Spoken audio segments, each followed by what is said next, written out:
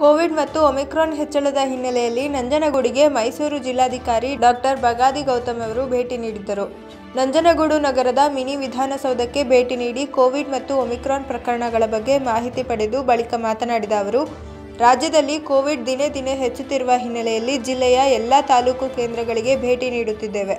ಜಿಲ್ಲಾಡಳಿತ ಮತ್ತು ತಾಲೂಕು ಆಡಳಿತ ಸಕಲ ಸಿದ್ಧತೆಗಳನ್ನು ಮಾಡಿಕೊಂಡಿದ್ದು, ಸಾರ್ವಜನಿಕರಿಗೆ ಕೋವಿಡ್ ವಾರ್ ರೂಮ್ ತುರ್ತು ಸಹಾಯವಾಣಿ ನಂಬರ್ ತಿಳಿಸಿ ಹಾಗೂ ಪ್ರತಿದಿನ ಕೋವಿಡ್ ಮುಂಜಾಗ್ರತಾ ಕ್ರಮವಾಗಿ ಪ್ರಚಾರ ನಡೆಸಿ ಎಂದು ತಹಶೀಲ್ದಾರ್ ಅವರಿಗೆ ಸೂಚನೆ ನೀಡಿದರು.